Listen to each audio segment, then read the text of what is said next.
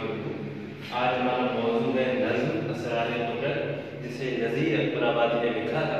इसके दो हम पहले पढ़ चुके हैं। आज हम तीसरे से इस नज्म को आगे ठीक है? तीसरा है, फलक तो कहने को दूर जमी का, जो ये बिस्तरा है। खड़े लाखों पहाड़ जिस पर, फलक से सर जिसका जा रहा है। हज़ारों हिकमत का एक बिछोना ये पानी ऊपर जो बिछ रहा है, बहुत हकीमों ने खाक छानी। कोई ने समझा, ये भेद क्या है? बड़े भड़कते हैं लाखों दाना, करोड़ों पंडित, हज़ारों दाना। जो खूब देखा तो यार आखिर खुदा की बात है, खुदा ही जाने।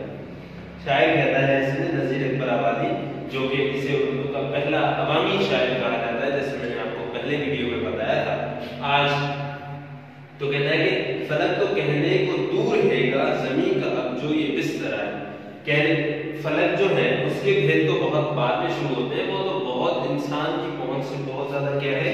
दूर है। अब ये जो बिस्तरा है, ये कहे का बिस्तरा है बेटा? ये ज़मीन का बिस्तरा है। खड़े हैं लाखों पहाड़ जिस पर फलक से सर जिसका जा लगा है। खड़े हैं लाखों। अब आप देखें, जब हम ज़मीन को देखते हैं तो कितने करोड़ों पहाड़, लाखों लाखों पहाड़, और उस पर फिर इस पे मतलब हर चीज़ में हिकमत है ना अल्लाह रब्बुल इज़्ज़त की। ज़मीन पर जो चीज़ है, वो हिकमत से पुर है। ठीक है, उसमें अगर हम उस पर गौर करें तो उसमें हिकमत ही हिकमत है।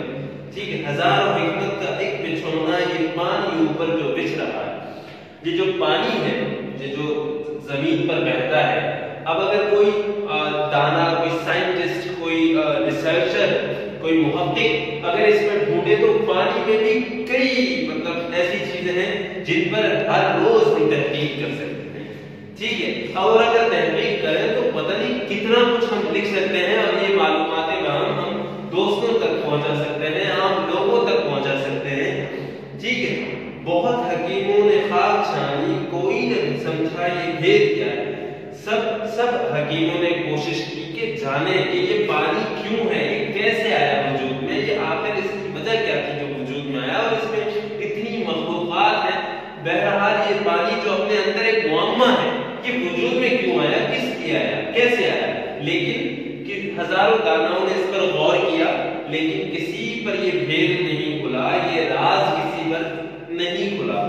बड़े भटकते हैं लाखों दाना, करोड़ों पंडित, हज़ारों सैने जो खूब देखा तो यार आखिर खुदा की बात खुदा ही जाने ठीक है, यानी हज़ारों पंडित पंडित यानी आलिम बड़े हिंदू मज़हब के हकीम, ठीक है, पढ़े लिखे लोग घूमते रहते हैं, अकल वाले दानाई वाले, लेकिन किसी को कुछ पता नहीं क्योंकि ये सब राज अल्लाह के हैं और इन्हें बेहतर अल्लाह ही जानता है। ज़मीन से लेकर जो आसमान तक भरी है, लाखों तरह की अब हम आते हैं खलकत ज़मीन से लेकर आसमान तक आपको हर तरह की खलकत मिलती है। चूटी से हाथी से परिंदे, परिंदों की मुख्तलिफ़ अकसाम अनवा अकसाम, ये सब क्या है बेटा? खलकत उसके बाद इंसान मखलूकात और दीगर जानवर। ठीक है, ये सब क्या है? किसकी मखलूक है बेटा। अल्लाह रब्बुल इज़्ज़त की मखलूक है। कहीं है हाथी, जैसे मैंने आपको पहले ही बता दिया था शायर आगे से कहता है, कहीं है हाथी कहीं है राई कहीं है बबर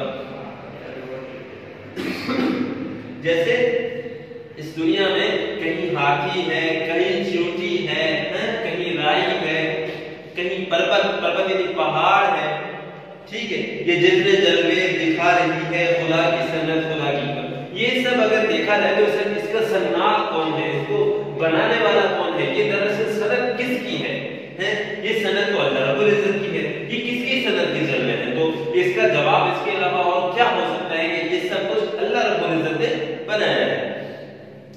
इसलिए ये अल्लाह की हिकमत है और अल्लाह ही से बेहतर जानता है। जो चाहे खोले भेद उसके किसी को इतनी नहीं है कुदरत। अगर कोई चाहता है कि ये इन तमाम मखलूक़ात की, तमाम असरार हैं कुदरत के, तमाम असरार जो कुदरत के हैं, तमाम राज आए कुदरत के अगर कोई भेद खोलना चाहे तो बेटा उसके बस की बात ये नहीं है। बड़े भटकते हैं लाखों दाना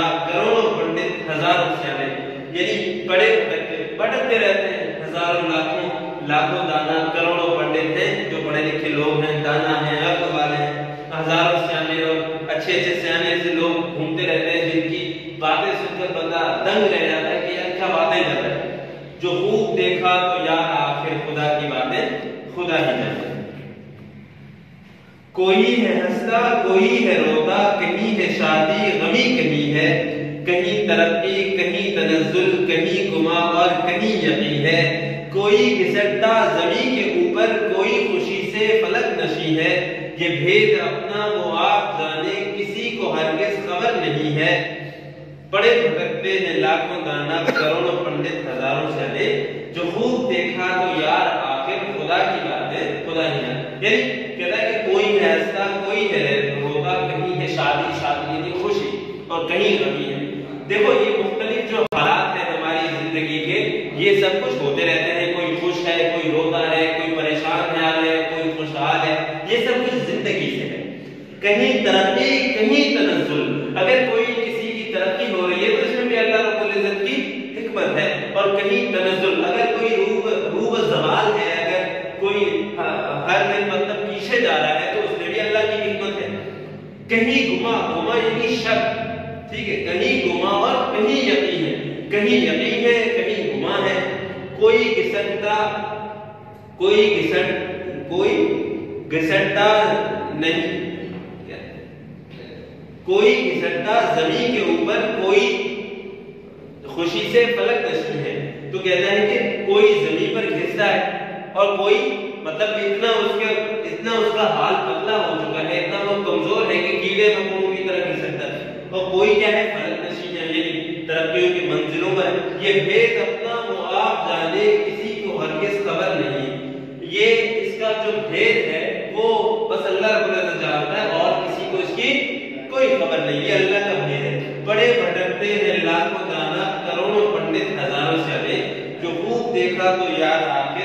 खुदा की बातें खुदा ही कर। अब आते हैं इसकी मश्क पर। पहले दूसरे और पाँचवें बंद की तशरीह मैंने आपको करवा दी है। इस नज्म का खुलासा खुद आपने लिखना है। इस नज्म का मरकजी ख्याल क्या है? आप लिखे। ठीक है, नजीर अकबर आबादी की इस नज्म से हमें क्या सबक मिलता है? अगर इस सारे जो तकरीर है इससे जो कुछ आपको समझ आ रहा आया है, इसे तहरीर कीजिए, ये उसका सबक है। ठीक है हैयत के लिहाज से ये नज्म किस सिंध से शुमार होती है और इसकी खसूसियात क्या है? ये जरा सवाल पेचीदा है आप हजरात के लिए। तो इस इस हैयत को हम कहते हैं हैयत मुसद्दस। यानी वो नज्म जिसको छह मिसरों में कहा जाए। उसमें छह मिसरों का एक बंद होता है और वो एक तवील नज्म होती है, जिसमें हर बंद में छह मिसरे होते हैं। छह मिसरे यानी मुसद्दस। शेर कहते हैं दो मिसरों को, तीन मिसरों को कहते हैं सुरासी, ठीक है? या मुसल्लिस। चार को कहते हैं रुबाई या पाँच को कहते हैं मुखम्मस और छह को कहते हैं मुसद्दस। ठीक है? और आगे जो मश्क है, अलिफ से बे तक ये आप कर लीजिएगा तब तक के लिए आज का ये सबक इतना है। तब तक के लिए अपना बहुत सारा ख्याल रखें। जब, अब इंशाल्लाह अगली क्लास में मुलाकात होगी। बहुत शुक्रिया। अल्लाह हाफिज़।